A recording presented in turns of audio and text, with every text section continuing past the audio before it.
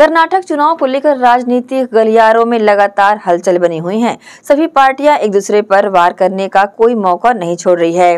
कर्नाटक के बीजेपी विधायक बासन गौड़ा यतन पाल ने यूपीए अध्यक्ष सोनिया गांधी को विश कन्या बताया। उनके इस बयान पर मुख्यमंत्री भूपेश बघेल ने गहरी नाराज़गी जताते हुए कहा कि कर्नाटक में भाजपा के एक विधायक ने सोनिया गांधी को विश कन्या कहा है।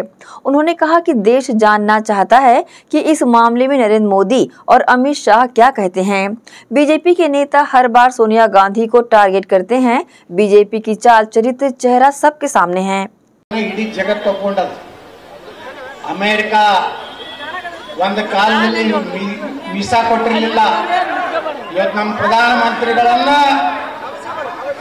ಕೆಂಪು ಹಾಸಿಗೆ ಮೂಲಕ ಸ್ವಾಗತ ಮಾಡಿ ಹೆಗಲ ಮೇಲೆ ಕೈ ಹಾಕೊಂಡು ಹೋಗುವಂತ ಒಂದು ವಿಶ್ವದ ನಾಯಕರಾಗಿ ಇವತ್ತು ಪ್ರಧಾನಮಂತ್ರಿ ವಿಷ ಕಚ್ತಾರತ್ತೆ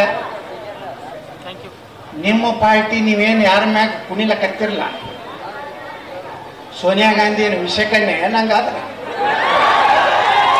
ಈ ದೇಶ ಹಾಳು ಮಾಡೋಣಂತ ಚೀನಾ ಮತ್ತು ಪಾಕಿಸ್ತಾನದ ಏಜೆಂಟ್ರಾಗಿ ಕೆಲಸ ಮಾಡುವಂತ ಸೋನಿಯಾ ಗಾಂಧಿ कर्नाटक में भारतीय जनता पार्टी के एक एमएलए पी पाटिल उन्होंने मिसेस सोनिया गांधी को विष कन्या कहा है। भारतीय जनता पार्टी को ही दूसरे के बारे में बोलने का अधिकार है। दूसरे बोले तो तकलीफ़ होती है।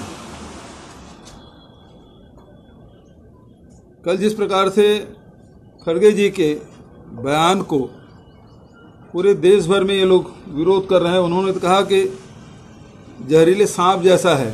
और फिर भी खड़गे जी ने बड़प्पन दिखाते हुए उन्हें वापस भी लिया है। आज उसके विधायक के द्वारा सोनिया गांधी जी को विष कन्या कहा गया है। भारतीय जनता पार्टी के चाल चरित्र चेहरा अब समझ आ गया है। ये हर बार सोनिया जी को टारगेट करते हैं। उसके राष्ट्रीय नेता सोनिया जी के बारे में कितने बार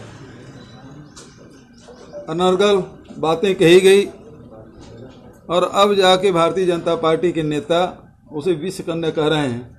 ये घोर निंदनीय है और ये भारतीय जनता पार्टी के नेताओं के कहने पर किया गया है। अब इस मामले में नरेंद्र मोदी जी और अमित शाह जी क्या कहते हैं ये पूरा देश जानना चाहती है। सर कांग्रेस इस पर एफआईआर कराएगी क्या छत्तीसगढ़ कांग्रेस? अब हमारे कार्यकर्ता उसको देखेंगे? क्यों नहीं करेंगे उसको?